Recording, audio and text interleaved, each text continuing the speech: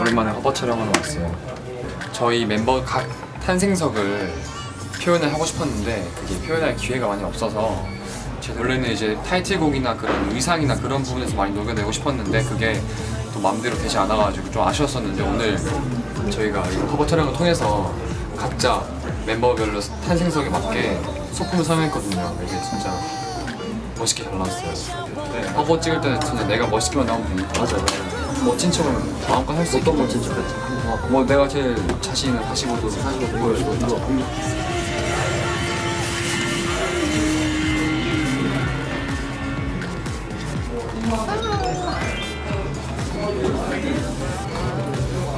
손에 제일 묻었어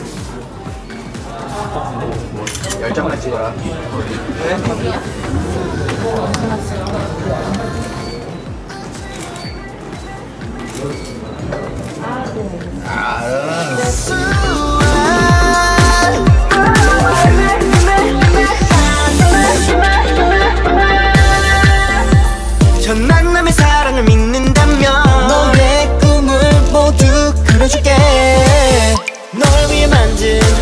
둘만의 곳에 기억을 하나씩 넣을래 널 통해 보이는 세상 너무 빨리 끝나도 문제야. 적당히 해야 돼. 뭐든지. 알았죠? 아직도 그곳에 서네 보컬입니다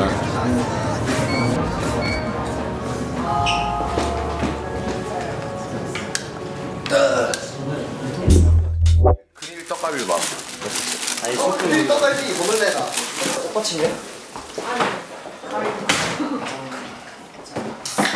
음, 맛있어. 위에 뭐 장식해도 될 것 같아. 아니 잠시만 이거 일단 맛 좀 보자고. 내진 설계가 잘 돼 있는데 아 이건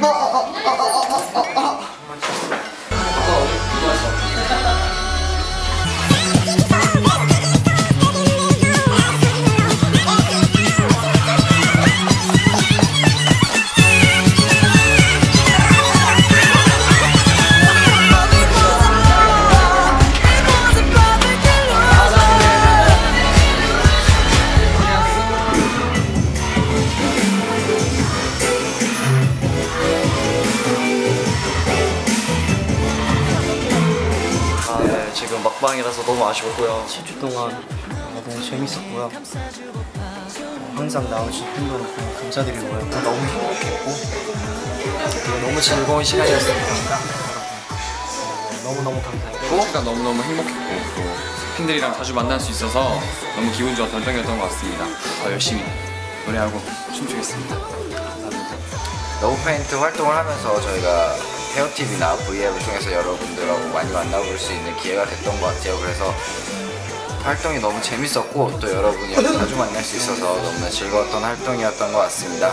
앞으로도 좋은 노래로 여러분들의 길을 즐겁게 해드릴 수 있도록 노력 많이 하도록 할 테니까 조금만 기다려주시고 저희 GX 앞으로도 많이 사랑해주세요. 따라갈게 밤하늘은 그대로 한 폭의 그림은 너와 나 단둘이네 이 순간이 영원히 멈춰지기를 바